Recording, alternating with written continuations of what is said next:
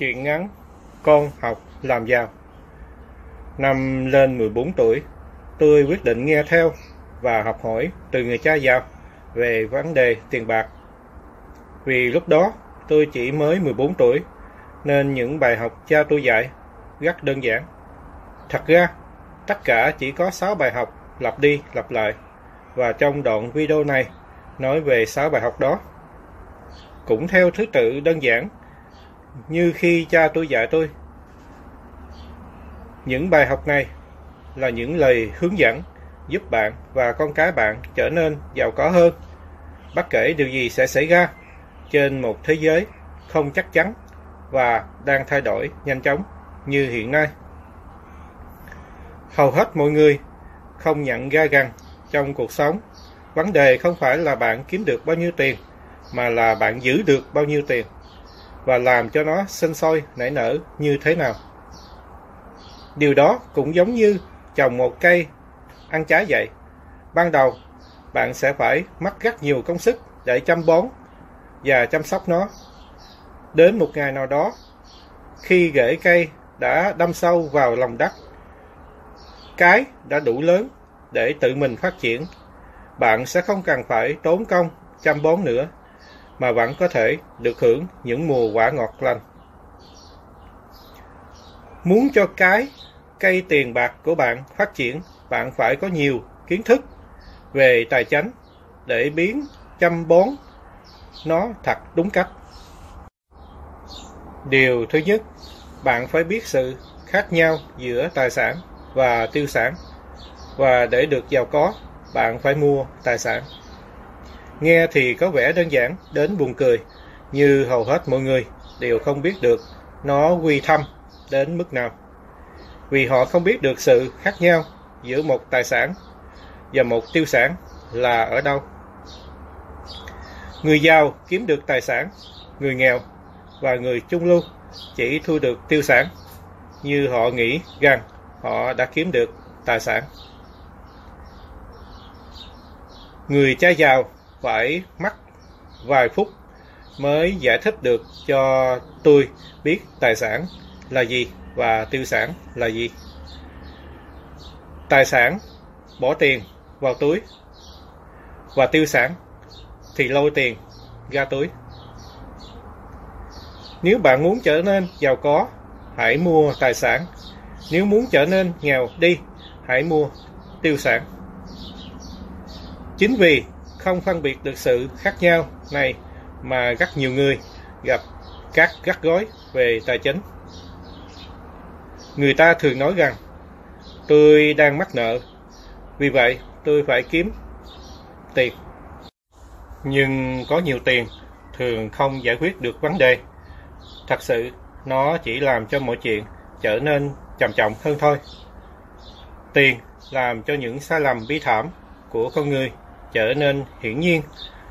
Chính vì vậy mà thông thường khi người ta được hưởng một vạn may bất ngờ ví dụ như được thừa hưởng gia tài, tăng lương hay trúng số.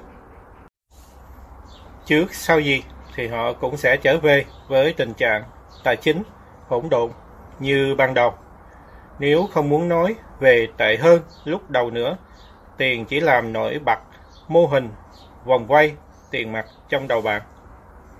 Nếu bạn thường sử dụng hết mọi thứ bạn có thì gần như chắc chắn là việc tăng lương sẽ dẫn đến tăng chi tiêu. Chúng ta thường kiếm tiền bằng kỹ năng nghề nghiệp của mình và đa số sinh viên thường rời trường mà không có một kỹ năng tài chính nào. Nên dù hàng triệu người có học theo đuổi nghề nghiệp của mình một cách thành công, họ vẫn gặp phải rất nhiều khó khăn tài chính. Họ làm việc vất vả như không giàu được điều thiếu sót trong vốn học của họ không phải làm việc thế nào để kiếm tiền, mà là làm thế nào để sử dụng tiền. Kiếm được tiền, rồi thì cần phải làm gì với chúng. Cái đó gọi là năng lực tài chính. Bạn làm gì với tiền, bạc sau khi đã kiếm ra chúng? Làm sao để giữ chúng không cho người khác chiếm lấy? Bạn giữ chúng được bao nhiêu và được bao lâu. Tiền bạc sẽ làm việc cho bạn như thế nào. Hầu hết những khó khăn tài chính người ta gặp phải là do họ không hiểu được dòng quay tiền mặt. Một người có thể được học hành tới nơi tới chốn, thành công trong sự nghiệp, nhưng vẫn không hiểu gì về tài chính. Những người này thường phải làm việc nhiều hơn cần thiết vì họ đã học cách làm việc chăm chỉ, nhưng không được học cách buộc tiền bạc phải làm việc cho mình. Có một câu chuyện về một giấc mơ tài chính trở thành một cơn ác mộng tài chính. Trong cuốn phim về những người làm việc chăm chỉ có sẵn một khuôn mẫu. Sau khi kết hôn, những cặp vợ chồng trẻ liền thuê một căn hộ để ở. Vấn đề là căn hộ thì quá tùm túng, nên họ quyết định phải tiết kiệm để mua một ngôi nhà trong mộng và có thể có con. Lúc này, họ có hai nguồn thu nhập và họ bắt đầu tập trung vào sự nghiệp của mình. Thu nhập của họ bắt đầu tăng lên. Chi phí số một của hầu hết mọi người là thuế. Thuế thu nhập, thuế giá trị gia tăng khi tiêu xài, mua sắm hàng hóa.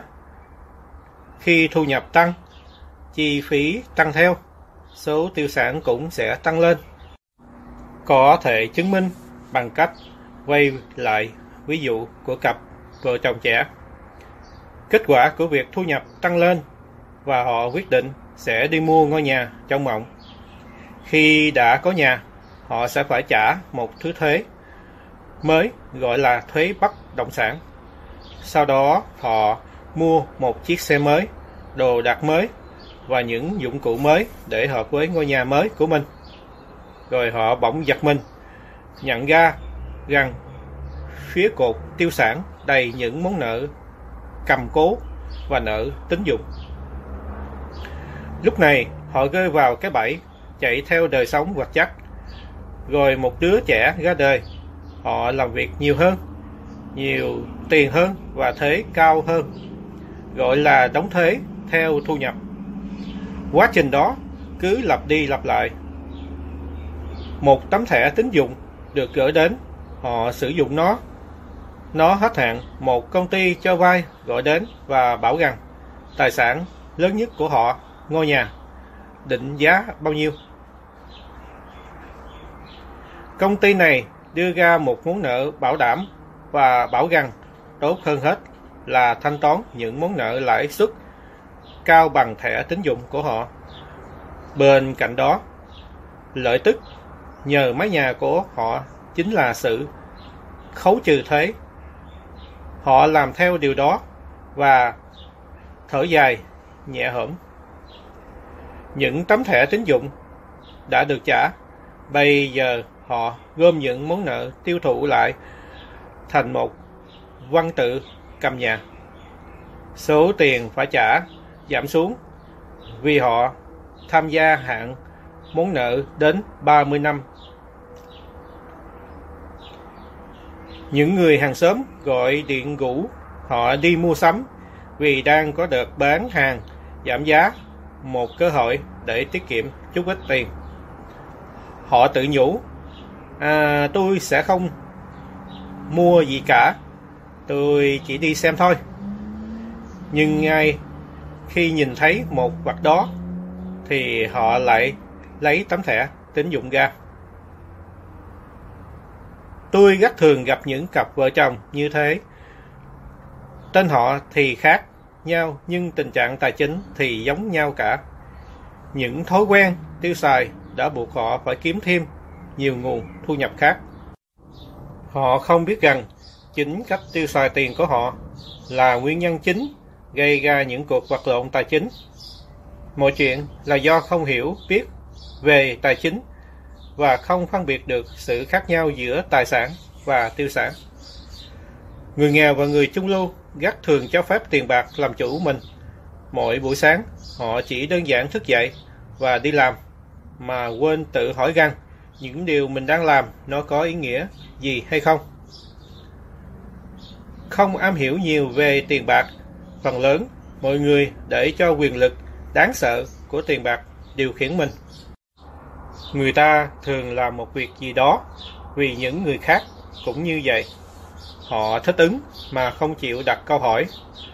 Họ lặp lại một cách không suy nghĩ những điều họ nghe được, những ý tưởng theo kiểu căn nhà là cả một tài sản. Ngôi nhà là sự đầu tư lớn nhất của bạn. Hãy tìm một công việc an toàn, đừng mạo hiểm. Tôi biết rằng với nhiều người, một ngôi nhà đẹp là sự đầu tư lớn nhất của họ, dù rằng nó không phải là một tài sản mà là một tiêu sản. Vì nó làm cho tiền ra khỏi túi nhiều hơn. Tuy nhiên, sẽ có nhiều người không đồng ý với tôi bởi lẽ một ngôi nhà đẹp rất dễ gây xúc cảm. Và khi nói đến chuyện tiền bạc thì những cảm xúc mạnh mẽ sẽ làm mờ đi trí thông minh tài chính. Khi nhắc chuyện nhà cửa, tôi muốn nói rằng hầu hết mọi người phải làm việc suốt đời để trả tiền cho một ngôi nhà mà họ không bao giờ thật sự được sở hữu. Nói cách khác, sau nhiều năm, hầu hết mọi người đều muốn mua một ngôi nhà mới. Mỗi lần mua nhà sẽ dẫn đến một món nợ kéo dài nhiều năm, trong khi nợ căn nhà trước vẫn còn chưa trả xong. Nhà cửa không phải lúc nào cũng tăng giá, điều mắc mát lớn nhất của bạn để mất đi những cơ hội.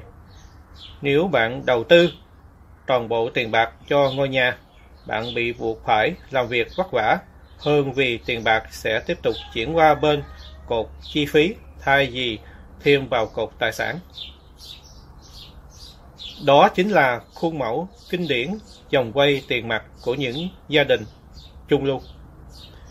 Nếu ban đầu một cặp vợ chồng trẻ để dành nhiều tiền vào cột tài sản, thì những năm sau này họ sẽ sống dễ dàng hơn. Nhất là khi con cái đến tuổi đi học. Tài sản của họ sẽ phát triển lên và có thể giúp họ kiểm soát các chi phí. Thông thường thì có một ngôi nhà cũng giống như gánh nặng một món nợ trị giá nhà phải trả và làm tăng các chi phí của bạn. Tóm lại, kết quả cuối cùng khi quyết định sở hữu một căn nhà quá đắt tiền thay vì nên bắt đầu một danh mục vốn đầu tư sẽ tác động mạnh vào một cá nhân theo ít nhất là ba cách. Cách thứ nhất, mất thời gian. Trong lúc những tài sản khác có thể sẽ được nâng giá trị lên. Cách thứ hai, mất một phần vốn vì số tiền đó có thể được đem đi đầu tư thay vì phải trả các chi phí bảo quản trực tiếp liên quan đến ngôi nhà.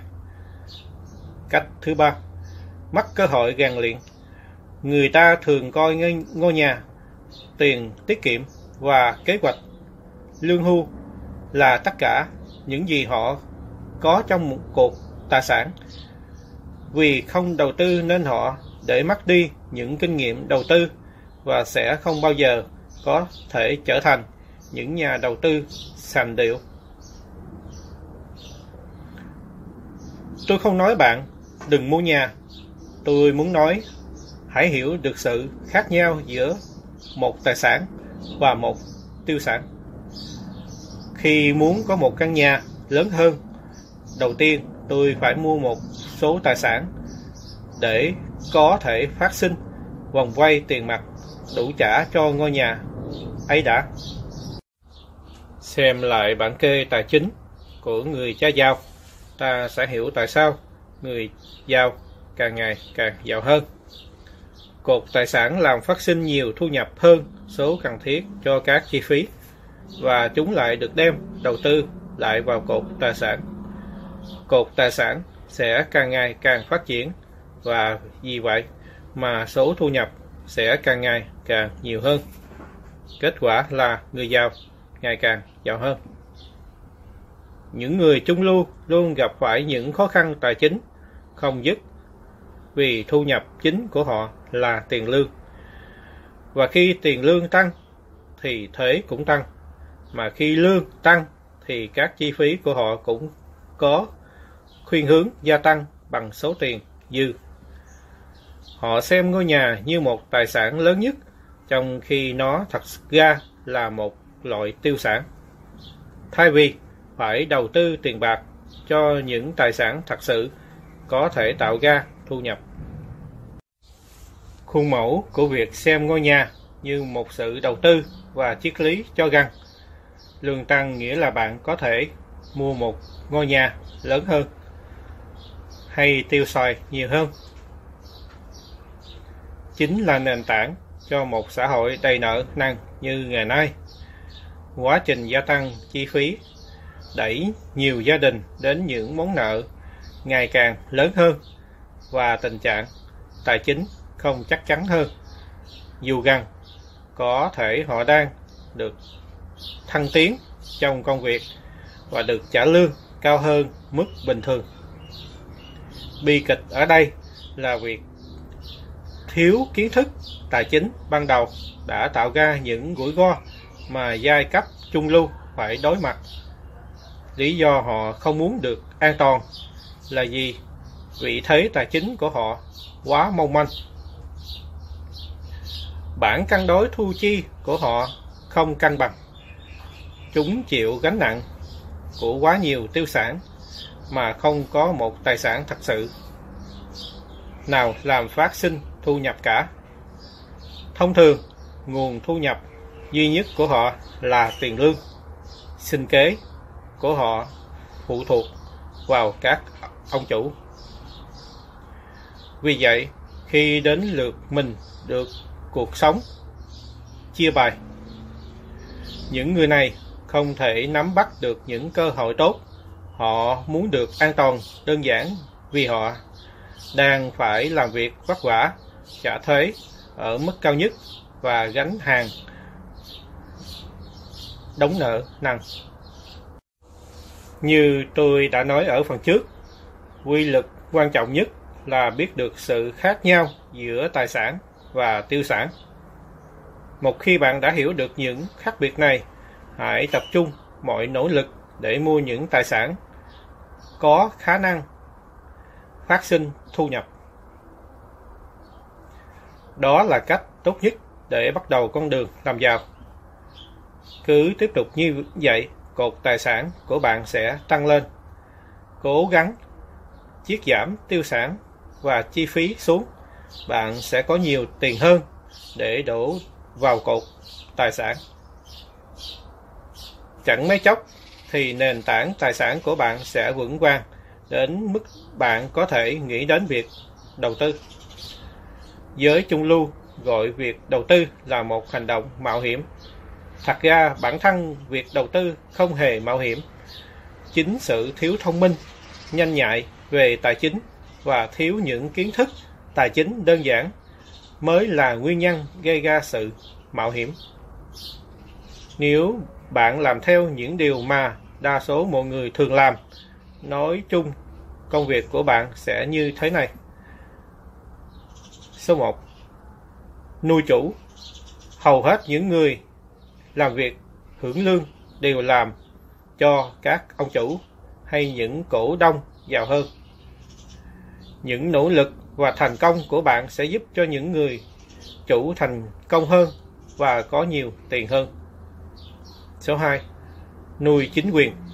Chính quyền nhận phần mình trong số lương của bạn, thậm chí trước khi bạn nhìn thấy nó nữa. Khi cố gắng làm việc chăm chỉ hơn, chỉ đơn giản là bạn đang làm gia tăng số thuế phải nộp cho chính quyền. Số 3. Nuôi ngân hàng. Sau khi trả thuế, chi phí lớn nhất kế tiếp thường là những món nợ tín dụng. Vấn đề là bạn cố gắng làm việc chăm chỉ hơn thì ba giới trên sẽ lấy đi một phần chi lớn hơn trong những nỗ lực của bạn. Vì vậy, bạn phải học cách làm thế nào để cho các nỗ lực của bạn có thể làm tăng lợi nhuận trực tiếp cho bản thân và gia đình bạn. Một khi bạn đã có quyết định tập trung hết tâm trí để chăm nom việc kinh doanh riêng, bạn sẽ xác định một mục tiêu như thế nào Với hầu hết mọi người, họ phải giữ lấy nghề nghiệp của mình và dựa vào tiền, lương để kiếm tài sản. Mục đích kế tiếp là phải có dư một số tiền trong vòng quay tiền mặt để đầu tư trở lại vào cột tài sản. Càng nhiều tiền đầu tư vào cột tài sản thì nó sẽ càng phát triển. Và chỉ cần giữ được số chi phí thấp hơn số tiền mặt phát sinh từ những tài sản này thì tôi sẽ trở nên giàu hơn với ngày càng nhiều thu nhập từ những nguồn khác ngoài xứ lao động của mình. Hãy nhớ, người giàu mua tài sản, người trung lưu mua những tiêu sản mà họ nghĩ là tài sản. Người nghèo chỉ có toàn chi phí. Khi dòng quay tiền mặt của bạn phát triển lên, bạn có thể mua một vài thứ đồ xa xỉ. Một điều quan trọng cần nhớ là người giàu mua những thứ xa xỉ này sau cùng. Trong lúc người nghèo và người trung lưu có khuyên hướng mua chúng trước hết. Người nghèo và người trung lưu thường mua những thứ xa xỉ như những ngôi nhà lớn, kim cương, áo lông, thú, nữ trang vì họ muốn trông có vẻ vào có, trông họ có vẻ giàu, có thật, nhưng thật sự họ đang mắc nợ ngập đầu. Những người có kinh nghiệm hay những người giàu thường xây dựng cột tài sản của họ trước tiên. Sau đó họ sẽ dùng thu nhập phát sinh từ cột tài sản để mua những thứ xa xỉn. Còn người nghèo và người trung lưu thì lại mua những thứ đồ xa xỉ ấy bằng mồ hôi và máu của chính mình, cũng như gia tài dành dụm cho con cái mình. Điều mà hầu hết mọi người thường làm là gọi vàng chạy đi mua một chiếc xe hơi hay một thứ đồ xa xỉ gì đó bằng thẻ tín dụng. Có thể họ sẽ mau cảm thấy chán và muốn có một thứ đồ chơi mới. Thường thì khi mua một thứ đồ xa xỉ bằng thẻ tín dụng, sớm muộn gì người ta cũng thấy không hài lòng với nó. Vì món nợ mà nó mang lại trở thành một gánh nặng tài chính cho họ. Chúng ta sống trong một xã hội luôn tranh chấp. Người giàu che giấu phần nhiều tài sản của họ bằng các phương tiện như liên đoàn và tín dụng để bảo vệ tài sản của mình. Khi ai đó kiện tụng một người giàu, họ thường gặp phải nhiều lớp bảo vệ hợp pháp. Và thường thì họ nói rằng người giàu này thật sự không có gì cả. Họ điều khiển mọi thứ như không sở hữu một cái gì hết. Còn người nghèo và người trung lưu thì lại cố sở hữu mọi thứ rồi để chúng lại rơi vào tay chính quyền hoặc những người thích kiện tụng người giàu. Chúng tôi thành thật khuyên bạn nên sở hữu một liên đoàn riêng của mình trong số tài sản của bạn như là một phần chiến lược tài chính tổng thể. Trong mọi chúng ta đều ẩn chứa những tiềm năng to lớn, những năng khiếu bẩm sinh. Tuy nhiên, điều kiềm nén chúng ta chính là sự thiếu tự tin. Khi rời trường, hầu hết chúng ta đều biết rằng thế giới thật ngoài cửa trường học đòi hỏi những điều khác ngoài các điểm số. Những từ như gan góc, can đảm, bạo dạn, khéo léo, táo bạo, kiên quyết, tài giỏi mới là những từ quan trọng trong câu chuyện tương lai của chúng ta, chứ không phải là những điểm số. Những tính cách tốt đẹp đó đều có trong mỗi con người chúng ta, nhưng yếu đuối, bất tài và hèn kém cũng có nữa. Thông thường trong cuộc sống, thực không phải sự thông minh mà chính là sự táo bạo sẽ giúp bạn vượt lên. Ngày nay tôi thấy rất nhiều người phải đấu tranh với cuộc sống. Thường thì họ cố làm việc chăm chỉ hơn đơn giản vì họ còn gắn bó với những quan niệm cũ. Họ muốn mọi thứ đều theo lệ thường. Họ phản đối các thay đổi. Theo tôi biết rằng, có những người bị mắc việc hay mắc nhà và họ đổ thừa mọi thứ cho công nghệ, cho nền kinh tế hay cho các ông chủ của họ. Đáng buồn là họ không hề nhận ra rằng chính họ mới là vấn đề. Những suy nghĩ lỗi thời chính là tiêu sản lớn nhất của họ. Đơn giản vì họ không nhận thức được rằng các suy nghĩ hay cách làm việc của họ chỉ là tài sản trong ngày hôm qua mà thôi. Mà ngày hôm qua thì đã qua rồi. Tài sản quyền lực nhất mà tất cả chúng ta đều có chính là bộ óc. Nếu được huấn luyện tốt, nó có thể tạo ra những của cải khổng lồ trong chốc lát. Trong thời đại thông tin, tiền bạc gia tăng theo cấp số nhân. Một số người có thể làm giàu đến mức khó tin từ hai bàn tay trắng. Chỉ với những ý tưởng và các thỏa thuận, nếu bạn hỏi những người sống bằng cách buôn bán, chứng khoán hay các dạng đầu tư khác, bạn sẽ thấy rõ điều đó. Thường thì những người này kiếm được hàng triệu đồng trong chốc lát không nhờ một cái gì cả. Trong cuộc sống, tôi thấy rằng chiến thắng thường đi sau sự thất bại. Trước khi có thể chạy xe đạp, tôi đã bị ngã rất nhiều lần. Tôi chưa bao giờ gặp người chơi gô nào, chưa từng bị mắc trái banh. Tôi cũng chưa bao giờ gặp người đang yêu nào, chưa từng đau khổ. Và tôi chưa bao giờ gặp một người giàu nào chưa từng bị mất tiền. Vì vậy, với hầu hết mọi người, lý do họ không thành công về tài chính là vì nỗi đau bị mất mát, mất tiền còn lớn hơn rất nhiều so với niềm vui được giàu có. Khi nói về việc té xe đạp là một phần trong giai đoạn tập chạy xe, tôi nhớ là càng bị té xe nhiều, tôi càng quyết tâm học chạy xe nhiều hơn, chớ không hề nhục chí. Tôi cũng đã nói rằng tôi chưa bao giờ gặp một người chơi gâu nào chưa từng bị mắc trái banh. Để trở thành một người chơi gâu giỏi, việc mắc trái banh hay thua trận tất chỉ khiến cho họ chơi tốt hơn, luyện tập tích cực hơn, học hỏi nhiều hơn. Đó chính là điều làm cho họ giỏi hơn. Với những người chiến thắng, thất bại, truyền cảm hứng cho họ với những người thua trận, thất bại, đánh gục họ. Thất bại gây cảm hứng cho người chiến thắng và đánh gục người thua trận. Bí mật lớn nhất của những người chiến thắng là thất bại gây cảm hứng cho sự chiến thắng. Vì vậy mà họ không sợ thất bại. Chiến thắng nghĩa là không sợ thất bại. Họ ghét phải thất bại. Vì vậy, họ biết rằng sự thất bại sẽ chỉ gây cảm hứng cho họ trở nên giỏi hơn. Có một số khác biệt lớn giữa việc sợ mất và ghét bị mất.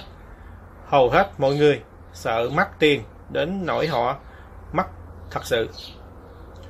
Họ bị phá sản vì một căn nhà. Về mặt tài chính, họ quá an toàn và quá nhỏ nhặt. Họ mua những ngôi nhà lớn và những chiếc xe lớn nhưng không chịu đầu tư lớn Lý do chính mà hơn 90% dân chúng Mỹ phải vật lộn với vấn đề tài chính là vì họ không muốn bị thua lỗ. Nhưng lối chơi của họ không đem đến chiến thắng. Nếu bạn có ít tiền mà muốn làm giàu, bạn cần phải tập trung, chớ không nên cân đối. Nếu nhìn vào điểm khởi đầu của một nhân vật thành công bạn sẽ thấy họ không hề cân bằng. Những người cố làm cho cân bằng đều không đi đến đâu cả. Họ dậm chân tại chỗ để tiến lên. Đầu tiên, bạn phải làm cho không cân đối. Cứ thử nhìn cách bước đi của bạn mà xem. Nếu bạn ghét bị mắc mát, hãy chơi an toàn. Nếu những mắc mát làm cho bạn yếu đi, hãy chơi an toàn hãy đi cùng sự đầu tư cân đối. Nếu bạn đã quá 30 tuổi, và gắt sợ phải mạo hiểm thì đừng thay đổi. Hãy chơi an toàn như hãy bắt đầu thật sớm. Hãy bắt đầu tính lũy vỏ trứng của bạn càng sớm, càng tốt vì việc đó sẽ mất rất nhiều thời gian. Người bận rộn thường là những người lười biếng nhất. Ta đã nghe nhiều những câu chuyện về một nhà kinh doanh phải làm việc vất vả để kiếm tiền và cho trung cấp đầy đủ cho gia đình, cho vợ con. Ông ngồi lì trong căn phòng nhiều giờ liền và đem việc ở công ty về nhà làm cả ngày. Cuối tuần, một ngày kia, ông trở về nhà phải đối mặt với một ngôi nhà trống. Vợ con ông đã bỏ đi. Ông biết giữa hai vợ chồng đang có gắt gối, nhưng ông vẫn thích làm việc hơn là ủng cố lại mối quan hệ. Vì vậy mà ông phải mặc và tiếp tục lao vào công việc. Mất hết tinh thần công việc của ông trực dài và cuối cùng thì ông mất việc. Ngày nay, tôi thường gặp nhiều người gắt bận biệu với tài sản của họ và cũng có những người gắt bận biệu lo lắng cho sức khỏe của họ. Đều cùng một lý do cả. Họ bận rộn và họ xem việc bận rộn là một cách để né tránh cái gì đó mà họ không muốn phải đối mặt. Không ai biết điều đó như từ trong sâu thẳm trong tâm hồn họ biết. Thực sự, nếu bạn nhắc nhở họ thì họ thường trả lời bằng cách nổi giận hay cáo kỉnh. Nếu họ không bận làm việc hay bận rộn với những đứa trẻ, họ thường bận xem truyền hình, câu cá, chơi câu hay đi mua sắm. Tuy nhiên, sâu thẳm trong tâm hồn, họ biết rằng họ đang né tránh một điều quan trọng, đó là dạng lười, biến thông thường nhất, lười biến bằng cách giữ cho mình bận biểu.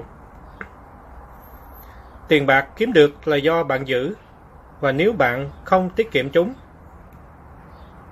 Hôm nay, chúng ta sẽ giải quyết vấn đề tiết kiệm và dùng tiền bằng đầu tư mức tối thiểu 10% thu nhập trong suốt quá trình làm việc của bạn. Hãy lấy 10% thu nhập tối đa của bạn mỗi khi nhận lương và giữ chúng vào một tài khoản đặc biệt để tích lũy tài chính. Thật sự là nếu bạn giữ lại 100 đô la mỗi tháng trong suốt quá trình làm việc của bạn và đầu tư số tiền đó trong các quỹ, tương hỗ, chứng khoán, bảo hiểm, trung bình tăng lên 10% mỗi năm, bạn sẽ có hơn 1 triệu đô la khi bạn nghỉ hưu. Nghĩa là tất cả mọi người, cho dù chỉ có tiền lương tối thiểu, nếu bắt đầu đủ sớm và tiết kiệm đủ dài trong suốt quá trình làm việc của mình thì họ có thể trở thành triệu phú. Phát triển thói quen để tiết kiệm và đầu tư tiền của bạn không hề trễ. Nó đòi hỏi sự quyết tâm to lớn và sức mạnh của ý chí. Bạn phải đưa chúng trở thành mục tiêu, viết vào giấy, lập kế hoạch tiết kiệm và hãy làm như vậy cả cuộc đời. Nhưng nếu một lần bạn thực hiện điều này chúng sẽ trở nên tự động và thành công trong tài chính sẽ là điều hiển nhiên. Thực hành tiết kiệm, tiết kiệm và tiết kiệm trong tất cả mọi việc. Cẩn trọng với từng xu, đặt câu hỏi mỗi khi chi tiền, trì quản các quyết định mua quan trọng ít nhất một tuần, nếu không là một tháng. Quyết định mua càng lâu bạn càng có quyết định đúng đắn hơn và được giá tốt hơn bạn có thời điểm đó. Mở một tài khoản đặc biệt cho việc tích lũy tài chính ngay ngày hôm nay. Đưa tiền vào tài khoản này không quan trọng là bao nhiêu. Tiếp theo, tìm kiếm mọi cơ hội để tăng thêm tài khoản đó. Bắt đầu nghiên cứu về tiền để hiểu cách chúng phát triển. Tóm lại, nếu bạn muốn về hưu sớm và giàu, dành thời gian để trao dồi từng vực tài chính và có sự trung thực để đi theo cái nói hơn là cứ nói thôi. Luôn nhớ rằng lời nói là công cụ của bộ não và có những lời nói nhanh và lời nói chậm để đi đến giàu có. Từ ngữ phá hoại nhất trong các từ ngữ. Người cha giàu thường nói, từ ngữ hủy hoại nhất trong các từ ngữ là từ ngày mai. Ông nói, người nghèo, người không thành công, không hạnh phúc, không khỏe mạnh là những người dùng từ ngày mai nhiều nhất. Những người này thường nói, tôi sẽ bắt đầu ngày mai, hay tôi sẽ bắt đầu kiêng ăn và tập thể dục ngày mai. Người cha giàu nói từ ngày mai là từ hủy hoại cuộc đời hơn bất kỳ một từ nào. Ông nói, vấn đề của từ ngày mai là ta không bao giờ thấy ngày mai. Ngày mai không tồn tại. Ngày mai chỉ tồn tại trong trí óc những kẻ mơ mộng và thất bại. Những người trì hoãn đến ngày mai sẽ thấy tội lỗi và những thói quen xấu cuối cùng sẽ bám theo họ. Ta không bao giờ thấy ngày mai. Tất cả những gì ta có là ngày hôm nay. Hôm nay là từ của người chiến thắng và ngày mai là từ của người thất bại.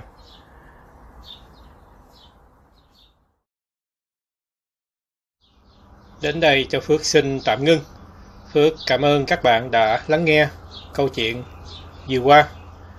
Phước cầu chúc cho các bạn gặp nhiều may mắn trong cuộc sống và gia đình luôn luôn hạnh phúc. Xin tạm biệt các bạn.